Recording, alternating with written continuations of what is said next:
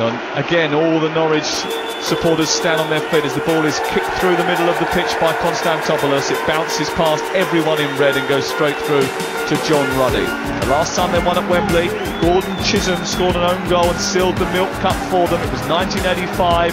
Tears for Fears were belting out Everybody Wants to Rule the World. Frankie Goes to Hollywood was singing Welcome to the Pleasure Dome. There's going to be plenty of pleasure for the people of Norfolk tonight, that is for sure.